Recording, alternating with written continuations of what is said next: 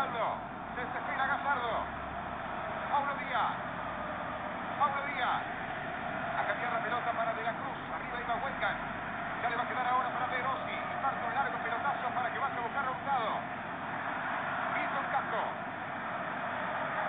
Pérez. Le pidieron eso a McAllister que juegue delante del doble